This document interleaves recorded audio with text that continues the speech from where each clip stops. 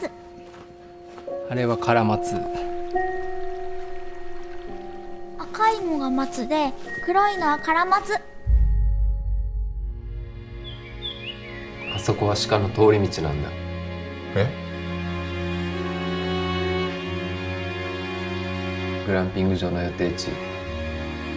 鹿の水場なんだ。まあ説明してくれるって言うんだからまずは聞こうや。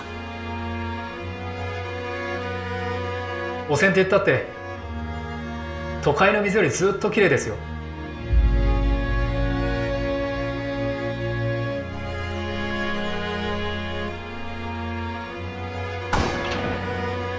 銃声やりすぎたらバランスが壊れる